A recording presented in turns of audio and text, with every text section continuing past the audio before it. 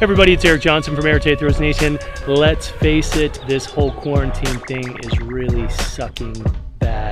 So what are we gonna do? We have basically three options. We can be depressed, bummed out that the season's gone and do nothing. We can try to maintain or we can come out of this better. And I think that's really what the goal should be. I know it's hard to say try to stay normal because you know what, it's not normal. The thing that we wanna really focus on is getting better, coming using this time wisely. There's so many things that you can be doing and should be doing. And we've got a nice series of stuff coming. We're gonna show you a quick video on one of our athletes who trained a few weeks back from out of town. We're gonna kind of show you inside a training session. There's some of your normalcy, but remember, use this time to study, to get ahead, to come out stronger. And that's gonna be the goal for all of us to keep our sanity. So you guys stay healthy, safe, check out the video. Not bad. Yeah, now you're already on top of the axis. Look at this line.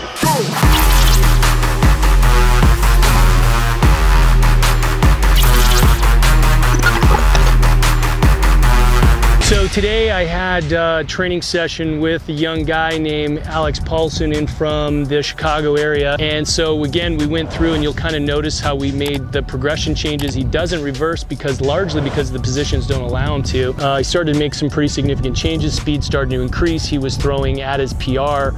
Okay, so the first thing that we uh, focus on when we take any new athlete is we're going to go through, and what you didn't see is how we build the athlete from the start of the throw, and we kind of just let them do what they do. We don't start coaching right away. Always want to have an athlete come in, show me what they're doing, show me how their routine works, get an idea of how they move, and then from there we'll start to build through the throw. So at this stage in the video, what we're going to do is show you how we'd actually already gone through the beginning pieces of the throw, built it up, and now we're starting to uh, explain how the chain reaction works, and that we're going to be applying that to the entire training session. So we think one of the big important things for coaches and throwers is obviously to be able to show we as a coach we're showing what they're doing wrong as well as what they're doing right so we can try to really relate the difference.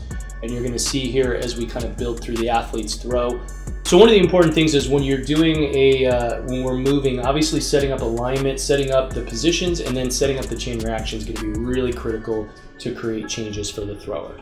You know, one of the one of the important things that we do is when we're looking at a beginning thrower versus an advanced thrower. Again, again, you're going to notice that um, the the gross movement is actually always pretty close, and it's the details that are going to make a huge difference.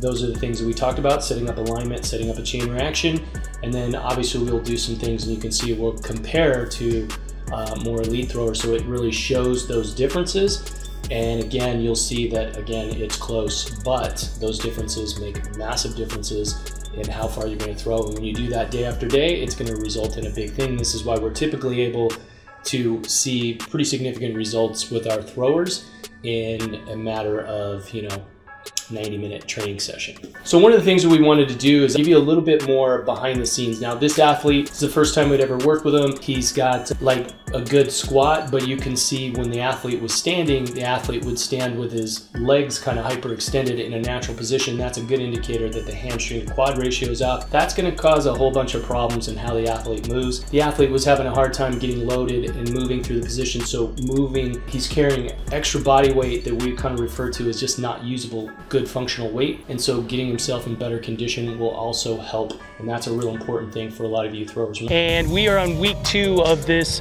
coronavirus mayhem and it's just totally changing everybody's life, routines, jobs. It's, it's devastating. And so, you know, throwing uh, in perspective of people's health, right, is, or sports, it's not to override it. But I think at the same time, trying to keep your routines as normal as possible, I think is a good thing. You know, we're providing our online members with suggestions and workouts and things that they can do in their driveway, in their backyard, you know, in their basement, kitchen, whatever. Try to stay safe, healthy, try to stay uh, uh, as much to a normal schedule as possible. And thanks so much, guys. We'll see you on the next video.